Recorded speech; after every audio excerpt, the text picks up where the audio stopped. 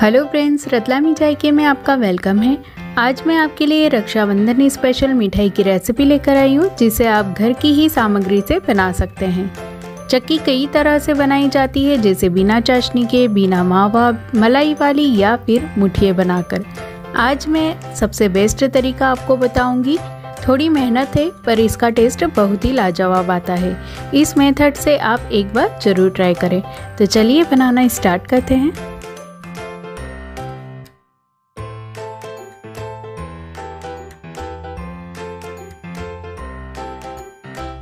बेसन चक्की बनाने के लिए ये मैंने एक किलो बेसन लिया है। ये ना तो ज़्यादा मोटा है और ना ही ज़्यादा बारीक मतलब ये सवा नंबर बेसन है। अब हम इसमें मोन के लिए घी डालेंगे।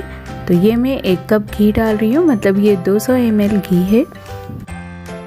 घी को हमें अच्छे से मिक्स करना है।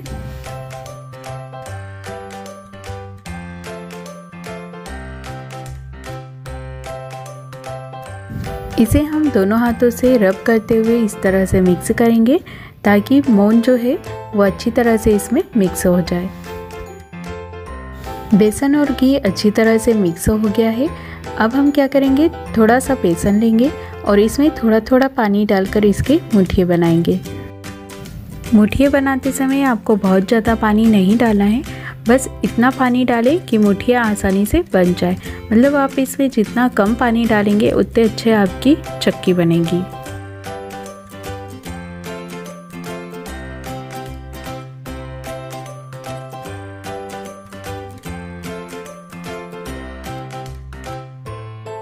अब देखिए, हम क्या करेंगे? इसमें से थोड़ा सा बेसन लेंगे और इस तरह से दोनों हाथों से इसे हम प्रेस करेंगे। और बीच में हम उंगली से इसे इस तरह से दबा देंगे। तो देखिए, इस तरह से हमें सभी मुठिए बनाने हैं। ये मैंने कढ़ाई में घी लिया है और इसे अच्छी तरह से मैंने गर्म कर लिया है। अब हम इसमें मुठिए फ्राई करेंगे।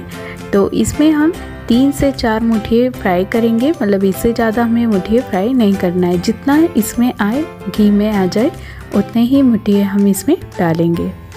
मुठिए हम मीडियम फ्लेम पर फ्राई करेंगे और जब तक इसमें हल्की सी एक साइड से कोटिंग ना हो मतलब ये हल्की से फ्राई ना हो, तब तक इसमें चम्मच नहीं लगाना है। एक साइड से थोड़ा सा ये फ्राई हो गया है तो अब हम इसे पलट देते हैं। गैस की फ्लेम आपको एक जैसी ही रखना है मतलब मीडियम फ्लेम ही रखना है। आपको कम ज़्यादा नहीं करना है और इसे हम क्रिस्पी होने तक मतलब हल्का गुलाबी होने तक हम इसे फ्राई कर लेंगे। बीच बीच में आप इसे पलटते रहें ताकि ये नीचे से चले नहीं। तो देखिए मुठिए बहुत अच्छे से फ्राई हो चुके हैं मतलब इसका हल्का गुलाबी कलर आ गया है तो अब हम इसे निकाल लेते हैं। इसी तरह से हमें सभी मुठिए फ्राई करना है।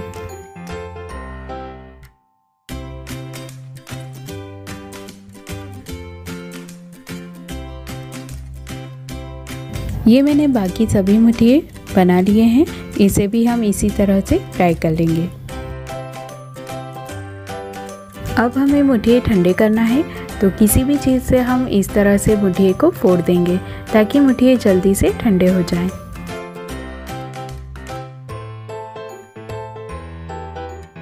इस तरह से मुठिए बनाकर अगर आप चक्की बनाते हैं तो ये पंद्रह दिन तक ख़राब नहीं होती मतलब आप कहीं भी इसे ले जा सकते हैं। इसलिए एक बार यह रेसिपी ज़रूर ट्राई करें। आप देख सकते हैं, मैं मीडियम फ्लेम पर ही मुठिए फ्राई कर रही हूँ और इसी फ्लेम पर मैं सभी मुठिए फ्राई करूँगी। बाकी मुठिए भी हम इसी तरह से फोड़ते जाएँगे और इसे हम ठंडा कर लेंगे। मुठिए मैंने अच्छी तरह से ठंडे कर लिए हैं। अब हम क्या करेंगे, इसे जार में डालकर और ग्राइंड कर लेंगे।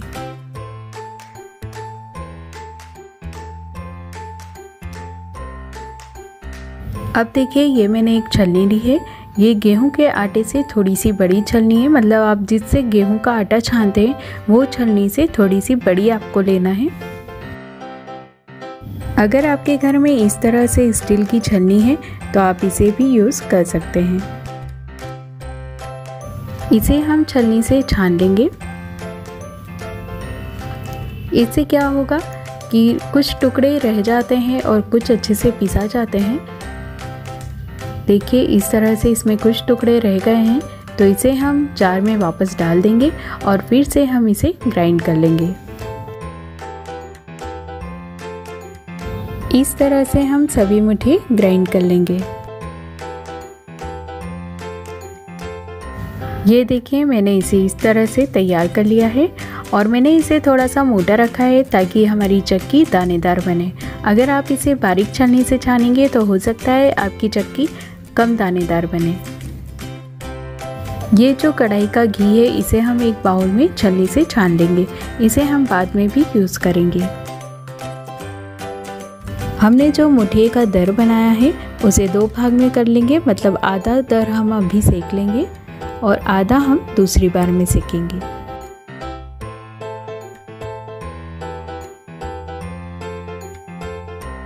दर गरम हो जाए, तब तक हमें गैस की फ्लेम तेज ही रखना है।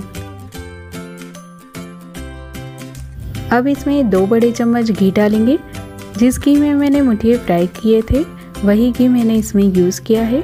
इसे अच्छे से मिक्स कर लेंगे और इसे हम मीडियम टू हाई फ्लेम करके बादामी होने तक सेक लेंगे। ये देखिए, हल्का सा ये बादामी कलर हो गया है इसका। इसे अब हम एक प्लेट में निकाल लेते हैं।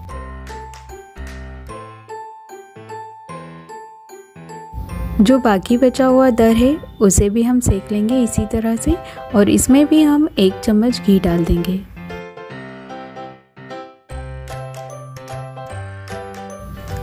अब हम कढ़ाई में एक किलो शक्कर लेंगे। मतलब हमने एक किलो बेसन लिया है तो एक किलो ही शक्कर लेंगे। मतलब जितना बेसन लिया है, उतना ही हमें शक्कर लेना है।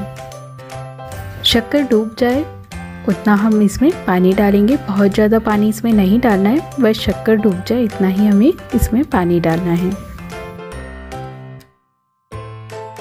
शक्कर को हम अच्छी तरह से मेल्ट होने देते हैं।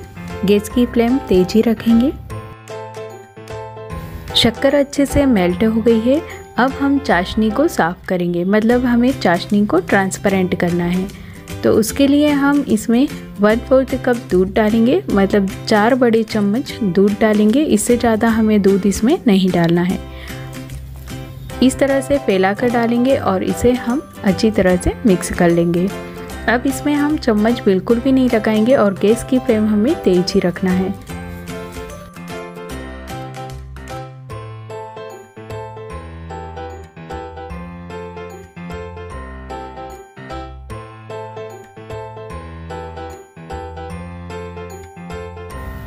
अब हम गैस की फ्लेम स्लो कर देंगे।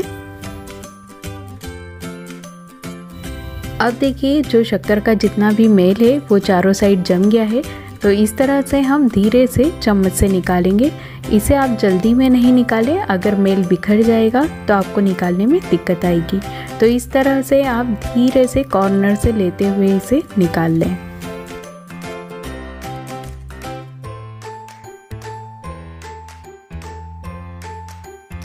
आप ये देखिए, चाशनी हमारी कितनी साफ़ हो गई है। गैस की फ्लेम हमें तेज़ी रखना है और ये देखिए, चाशनी का मेल इतना निकला है। मेल निकालने से क्या होगा, जो हमारी चक्की का कलर है, वो दिखने में बहुत अच्छा लगेगा। अब हम इसमें वन फोर्थ चम्मच केसरिया कलर डालेंगे। चाशनी तैयार हो रही है, तब तक हम क्या करेंगे? दूसरी साइड मावा सेक लेंगे। ये मैंने साढ़े सात सौ ग्राम मावा लिया है। इसे हम नरम होने तक सेक लेंगे। मतलब इसे हमें बहुत ज़्यादा नहीं सेकना है, सिर्फ़ मावे को हमें थोड़ा सा नरम करना है। मावा नरम हो गया है, अब हम गैस की फ्लेम बंद कर देंगे।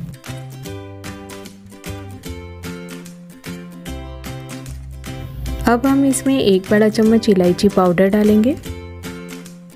और इस तरह से इलायची को मावे से कवर कर देंगे ताकि मावे में इलायची की खुशबू चले जाए। ये हमारी गोली बन चाशनी तैयार हो गई है तो देखिए प्लेट में इस तरह से आप डालें और इसे थोड़ा सा ठंडा होने दें। और देखिए आप हाथ से भी इस तरह से आप देख सकते हैं, ये थोड़ा सा आप चाशनी लें। और हाथ में इस तरह से उंगली से करें। तो देखिए, ये टूट नहीं रही है। बिल्कुल खिंचा रही है, पर टूट नहीं रही है। और देखिए ये जम गई है चाशनी, ये वाली भी। तो ये मतलब हमारी चाशनी परफेक्ट बनी है। अब इसमें हम तुरंत मावा डाल देंगे। जैसे ही चाशनी पक जाए, आपको गैस की फ्लेम बंद कर देना है। जैसे ही चाशनी पक जाए, वैसे ही आप इसमें मावा डाल दें। अगर चाशनी और गाढ़ी हो जाएगी तो आपकी चक्की ठोस बनेगी। तो आप इस चीज़ का ज़रूर ध्यान रखें। जैसे ही चाशनी आ जाए, वैसे ही आप इसमें मावा डाल दें, ताकि चाशनी आपकी गाढ़ी ना हो। और इसे इस तरह से आप मावे को अच्छी तरह से मिक्स कर लें। पाँच से सात मिनट बाद आप चाशनी को थोड़ी थोड़ी देर में चेक करते रहें, ताकि चाशनी ज़्यादा पके नहीं। केसर के दागों को इस तरह से क्रश कर लेंगे। सॉरी फ्रेंड्स मैंने इसमें केसर डाली है, थोड़ा सा वीडियो स्किप हो गया है। ये देखिए, मावा अच्छे से मिक्स हो गया है। अब हम इसमें थोड़ा थोड़ा करके बुरादा मिक्स करेंगे और इस तरह से इसे मिक्स करते जाएँगे। आपको एक साथ नहीं डालना है थोड़ा थोड़ा करके डालें और इस तरह से कंटिन्यू मिक्स करते जाएँ। देखिए, ये बहुत अच्छे से मैंने मिक्स कर लिया है इसे और इसे अब हम तुरंत ट्रे में डाल देंगे। ये मैंने सभी ट्रे में घी लगा लिया है ताकि जब चक्की जम जाए तो आसानी से निकल जाए। जल्दी से हम सभी ट्रे में इसे जमा देंगे क्योंकि ये बहुत जल्दी से चक्की जम जाती है और आपको जितनी मोटी जमाना है, आप उतनी मोटी जमा सकते हैं। और इसे हम हल्का सा इस तरह से टैप करेंगे। दूसरी ट्रे में भी हम जमा देंगे और ऐसा टैप करने से चक्की एक जैसी जमेगी। ऊपर से थोड़ी सी बादाम कटी हुई और पिस्ता लगा देंगे हम। आप इसकी जगह चांदी का वर्क भी लगा सकते हैं। चक्की को हम थोड़ी देर जमने के लिए रख देते हैं और थोड़ी सी ये सेट हो जाएगी, तब हम इसमें कट लगाएँगे।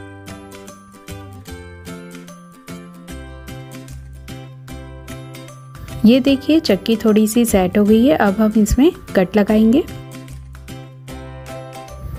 चक्की आपको जैसी छोटी बड़ी काटना है, आप पहले उस साइज़ में इस तरह से कट लगा लें। इससे क्या होगा कि आप जब कटिंग करेंगे चक्की की तो आपकी चक्की एक जैसी एक ही शेप में कटेगी।